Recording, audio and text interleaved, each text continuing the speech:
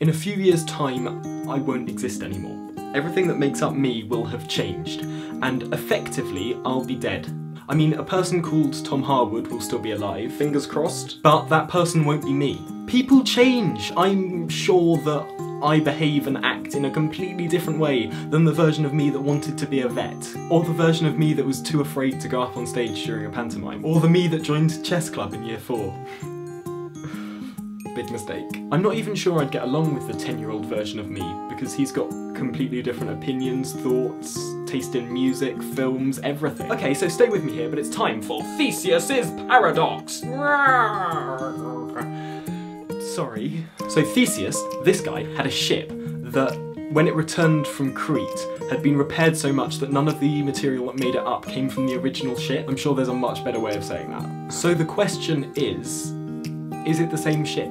And the sad thing is, there's no answer. I, I googled it, I checked.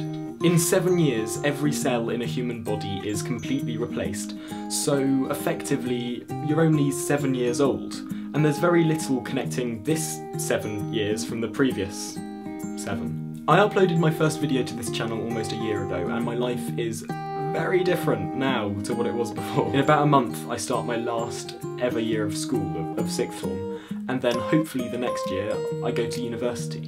And honestly, I don't know what it has in store. That's not even to mention results day in a couple of weeks for my AS levels. And then, in less than a month, I'm gonna legally stop being a child. I'm not ready for that! I'll legally be allowed to vote, to buy fireworks and alcohol and cigarettes. I'll be able to get married, to watch 18 rated films, to serve on a jury and make a will.